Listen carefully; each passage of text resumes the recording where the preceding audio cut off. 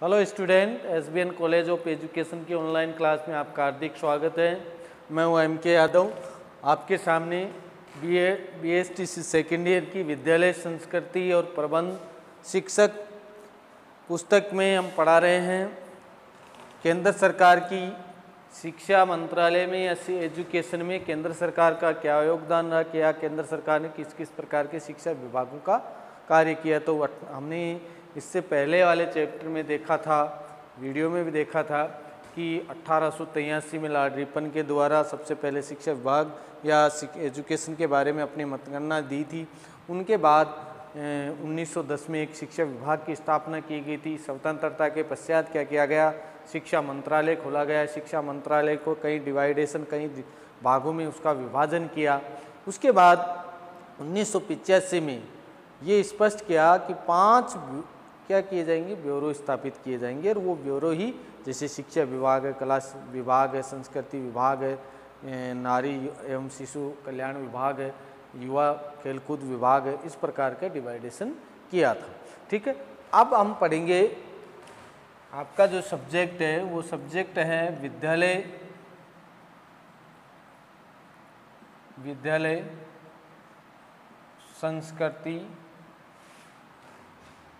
प्रबंध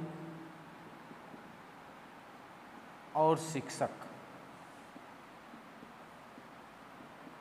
इसमें हम पढ़ रहे हैं, पहले पढ़ा था केंद्र सरकार, यानी केंद्र सरकार का आरटी के आधार पर किस प्रकार के कार्य किए, अब पढ़ेंगे राज्य सरकार। यानी राज्य सरकार ने का शिक्षा विभाग के प्रति क्या अपना उत्तरदायित्व है तो उसमें राज्य सरकार के प्रति जो शिक्षा संबंधी कार्य हैं, दायित्व हैं, जो उनके, वो हैं, उनमें सबसे पहले आता है वित्तीय कार्य। सबसे पहले कौन सा आता है राज्य सरकार का? वित्तीय कार्य, यानी वित्तीय सेवा क्या क्या देती है? राज्य सरकार अपनी वित्तीय सेवा में क्या योगदान करती है? तो वित्तीय सेवा में राज्य सरकार का सबसे महत्वपूर्ण कार्य प्राथमिक एवं माध्यमिक शिक्षा के लिए वित्तीय व्यवस्था करना, ठीक है? जिसमें कुछ केंद्र भी अनुदान देता है और कुछ राज्य सरकार भी क्या देती है? अनुदान देती है। यानी प्राथमिक स्तर, प्राथमिक प्राथमिक और माध्यमिक। प्राथमिक और माध्यमिक स्तर की जो स्कूलें होती हैं, उसके लिए राज्य सरकार वित्तीय सेवाएँ, यानी वित्तीय अनुदान प्रदान करती है, जबकि केंद्र सरकार भी देती है। केंद्र सरकार के साथ साथ राज्य सरकार भी उसका क्या करती है? सहयोग देती है। वित्तीय कार्य में अपना सहयोग देती है राज्य सरकार। दूसरी बात आती है, वो आती है अधिनियम। आर्टिकल अधिनियम। यानी राज्य सरकार इस शिक्षा विभाग में क्या कर सकती है? अधिनियम भी पारित करती है। विभिन्न प्रकार के शिक्षा के लिए कानून, अधिनियम व का निर्माण राज्य सरकार के द्वारा ही किया जाता है। दूसरा महत्वपूर्ण कार्य क्या है? कोई भी कानून बनाते हैं शिक्षा के प्रति तो राज्य में कानून बनाने के, शिक्षा से संबंधित जो भी कानून बनाया जाता है राज्य में, वो कौन बना सकती है? अधिनियम कौन पारित करती है? राज्य सरकार बनती है। अपने राज्य में लागू करने के लिए अधिने, अधिनियम यानी शिक्षा एजुकेशन में जो कानूनी कार्रवाई है, वो लागू करने की प्रविष्टि दूसरा महत्वपूर्ण कार्य क्या है? अधिनियम पारित करता है अपनी राज्य में। ये किसका है? राज्य सरकार का काम है। तीसरा है परिनिरीक्षण एवं निरीक्षण। परिनिरीक्षण एवं निरीक्षण। परिनिरीक्षण एवं निरीक्षण। परिनिरीक्षण एवं निरीक्षण। ये इसका क्या हो गया? कार्य हो गया। परिनिरीक्षण एवं निरीक्षण। यानी राज्य सरकार तृतीय महत्वपूर्ण कार्य है, विद्यालयों में सभी प्रकार की क्रियाओं का निरीक्षण करती है। राज्य सरकार क्या करती है? सभी क्रियाएँ जो समुचित क्रियाएँ हैं, जो भी संचालन करने की प्रवृत्तियाँ हैं, पाठ्यक्रम की प्रवृत्तियाँ हैं पाठ्य इकाई क्यों इकाई की प्रक्रिया हैं, इसके अलावा भौतिक या मानवीय जो संसाधन है उनको क्रियाशील बनाने की, उनका निरीक्षण करने की, उनकी प्रवृत्तियाँ बनाने की, उनकी मीटिंग करने की, उनकी संगठन बनाने का, उनका कमेटी बनाने का कार्य कौन करता है? राज्य सरकार करती है। तो तीसरा महत्वपूर्ण कार्य क्या करती है कि जो उनको परिनिरीक्षण और निरीक्षण का कार्य भी राज्य सरकार की देखरेख के द्वारा ही होता है। यानी किसी प्रकार के कार्य को शिक्षा विभाग में संचालन करने की निगरानी राज्य सरकार की होती है। नंबर चार है शिक्षकों की नियुक्ति। नंबर चार क्या है? शिक्षकों की नियुक्ति। शिक्षकों की नियुक्ति, जैसे आपको पता होगा, रीट लगती है हमारे यहाँ। रीट होती है, फ़र्स्ट लेवल, सेकंड लेवल के लिए होती है। ठीक है, इसके अलावा आरपीएससी है, जिला परिषद है। ये योग्य शिक्षकों की क्या करती है? नियुक्ति करती है। राजस्थान जो पब्लिक सर्विस है, वो क्या करती है? जो शिक्षकों की नियुक्ति का आदेश भी जारी करती है तो ये राज्य सरकार के अधीन होता है। ठीक है, राज्य शिक्षकों की नियुक्ति, उनके लिए वेतन, सेवाएँ आदि जो दशाएँ हैं, वो उनका निर्धारण करती है, उनके लिए उत्तरदायी होती है। राज्य सरकार, इसके साथ साथ पब्लिक सर्विस कमीशन द्वारा की जाती है, इनकी शिक्षकों की नियुक्ति या परिषद के द्वारा की जाती है। आपको बताया कि जिला परिषद या पब्लिक सर्विस के द्वारा इनकी नियुक्ति की जाती है। उनकी नियुक्ति योग्य शिक्षकों की नियुक्ति होती है, उनका वेतन, उनकी सेवाएँ, उन सब का निर्धारण कौन करती है? राज्य सरकार करती है। नंबर पाँच है पाठ्यक्रमों का निर्धारण। पाठ्यक्रमों का निर्धारण। पाठ्यक्रमों का निर्धारण कौन करती है? राज्य सरकार करती है। राजस्थान, जैसे हमारा राज्य राजस्थान है। राजस्थान राज्य की जो भी पाठ्य पुस्तकें हैं, उनको केंद्र सरकार ने करके राज्य सरकार करती है कि किस भाषा में, मातृभाषा कैसी उन माध्यम कैसा होना चाहिए, किस प्रकार का सिलेबस होना चाहिए कौन कौन से विषय लागू होने चाहिए, ठीक है? तो इन प्रकार की प्रवृत्तियों का निर्माण या उनका निर्धारण का कार्य कौन करता है? राज्य सरकार का होता है कि पाठ्यक्रम की किस प्रकार से पूर्ति की जाए, किस प्रकार से कौन कौन से विषय प्रमुख हैं कौन कौन से विषयों को कितना समय दिया जाए, किस प्रकार इनका ढांचा तैयार किया जाए। तो ये सर, सब किसकी ज़िम्मेदारी होती है? राज्य सरकार की होती है। तो आपको स्पष्ट करवा दें, केंद्र सरकार के बारे में हमने अध्ययन कर लिया था। अब राज्य सरकार के बारे में अध्ययन कर रहे हैं तो राज्य सरकार का क्या क्या ज़िम्मेदारी होती है शिक्षा विभाग के प्रति? तो शिक्षा विभाग के प्रति पहली ज़िम्मेदारी होती है वो वित्तीय व्यवस्था होती है, जो केंद्र सरकार के सहयोग के साथ प्राथमिक माध्यमिक स्तर तक क्या करती है? वित्तीय सेवाएँ देती है, यानी बजट पारित करती है स्कूलों के लिए। जैसे स्कूल उनके अध्यापक होते हैं, फर्नीचर की व्यवस्थाएँ होती हैं, भौतिक संसाधनों की व्यवस्थाएँ होती है, लैब होते हैं ठीक है? इन सब के लिए वित्तीय सेवाएँ देने का कार्य कौन करती है? राज्य सरकार करती है। दूसरा, अधिनियम यानी किसी भी शिक्षा विभाग में, किसी राज्य में कानून बनाने का अधिकार भी किसको है? राज्य सरकार को। यानी शिक्षा विभाग में जो भी कानून बनाए जाते हैं, वो कानून राज्य सरकार के द्वारा ही निर्मित किए जाते हैं। नंबर तीन है, परिनिरीक्षण व निरीक्षण। यानी जो भी विद्यालय या शिक्षा विभाग का कोई भी कार्य होता है, वो कार्य प्रशासनिक कार्यों ये सचिव के माध्यम से किया जाता है, लेकिन शिक्षा विभाग में वो कार्य किया जा रहा है या नहीं किया जा रहा है, सरकार की देखरेख में यानी निरीक्षण के कार्य के आधार पर ही किया जाता है। उसके बाद है, शिक्षकों की नियुक्ति करती है, जिसमें जिला परिषद करती है। जिला परिषद के अलावा आरपीएससी यानी पब्लिक सर्विस के द्वारा भी शिक्षकों की नियुक्ति होती है, जिससे कि योग्य शिक्षक प्राप्त हो सके। उनका वेतन, उनकी सेवाएँ, उन सब का निर्णय भी कौन करती है? राज्य सरकार करती है कि सातवां वेतन आयोग लागू किया जाए।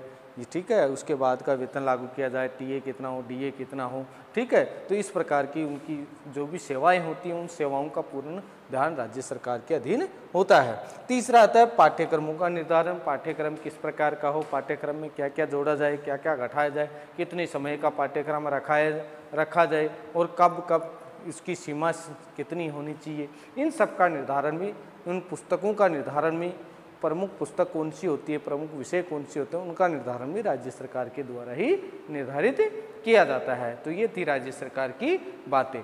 अब हम पढ़ेंगे राज्य सरकार पर शिक्षा का प्रशासनिक ढांचा। राज्य सरकार पर शिक्षा का प्रशासनिक ढांचा। राज्य सरकार पर, राज्य सरकार पर शिक्षा का प्रशासनिक ढांचा। शिक्षा का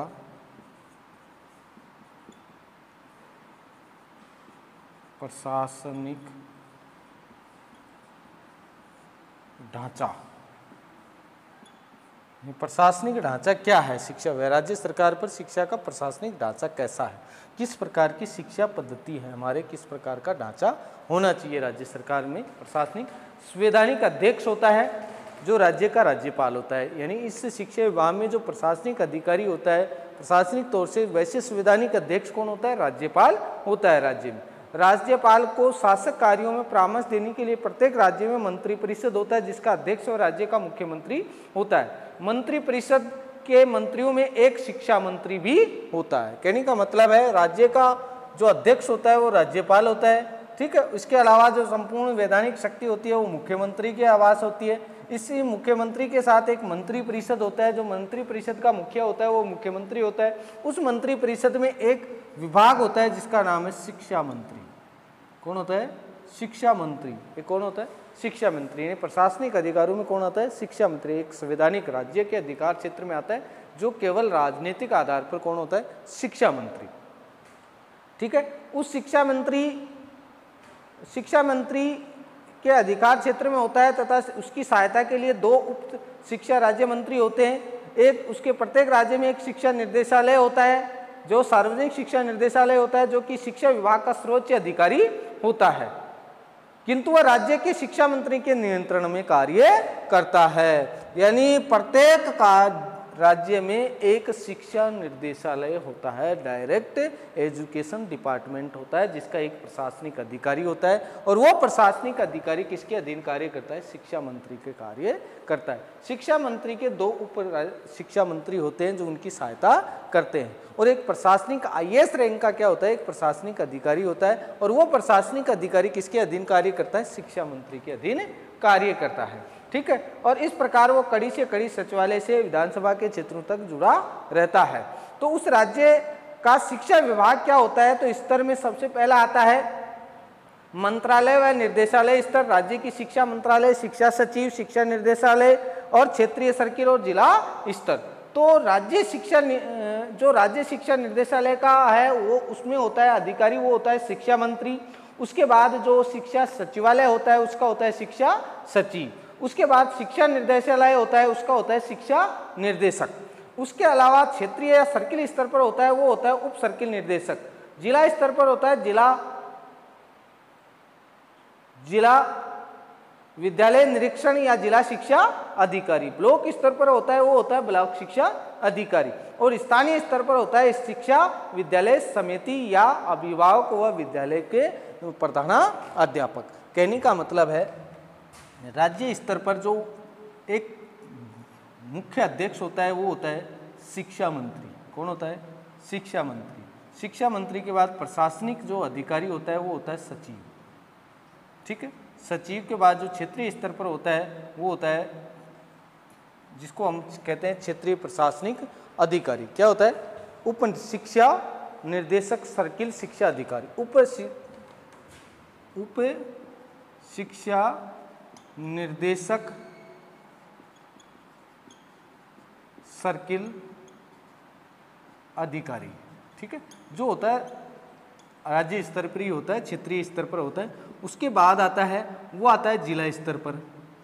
जिला स्तर पर आता है जिला शिक्षा अधिकारी, ब्लॉक स्तर पर आता है ब्लॉक शिक्षा अधिकारी, ब्लॉक शिक्षा अधिकारी, और फिर स्थानीय स्तर पर जो आता है, वो आता है स्थानीय स्तर पर स्थानीय जो प्रधानाध्यापक होता है, प्रधानाध्यापक के साथ साथ जो कमेटी होती है, जो कमेटी एसएमसी की जो कमेटी होती है, अभिभावक होते हैं, वो सारे समायोजित होते हैं। तो इस स्तर का क्या रहता है? एक राज्य में शिक्षा का वर्चस्व होता है, यानी कि इसका मुख्य जो क्षेत्रीय अधिकारी होता है, जो उस क्षेत्र का राज्य का, वो कौन होता है? अध्यक्ष कौन होता है? शिक्षा मंत्री होता है। शिक्षा मंत्री के नीचे प्रशासनिक अधिकारियों में सचिव आता है। सचिव के नीचे जो क्षेत्र को में जो सर्किल सर्किल बांट रखे हैं, जैसे निर्देशालय बीकानेर, उदयपुर, ऐसे बांट रखे हैं, उसमें उप शिक्षा जिला निर्देशालय सर्किल अधिकारी होता है, उसके अलावा ज़िले पर जिला शिक्षा अधिकारी होता है, ब्लॉक पर ब्लॉक शिक्षा अधिकारी होता है और स्थानीय क्षेत्रों में प्रधानाध्यापक होता है, अभिभावकगण एस की जो मीटिंग के सदस्य होते हैं, वो होते हैं, ठीक है? इस प्रकार की व्यवस्था पाई जाती है, ठीक है? ये व्यवस्था पाई जाती है, उसके बाद होता है मंत्रालय व निर्देशालय स्तर, मंत्रालय स्तर पर। अब मंत्रालय स्तर पर क्या होता है? तो मंत्रालय स्तर पर जो होता है, वो होता है शिक्षा मंत्री। मंत्रालय स्तर पर कौन होता है? शिक्षा मंत्री होता है। और शिक्षा मंत्री केंद्र की भांति राज्य में भी एक शिक्षा मंत्रालय होता है, जिसका प्रमुख अधिकारी शिक्षा मंत्री होता है। सही बात है।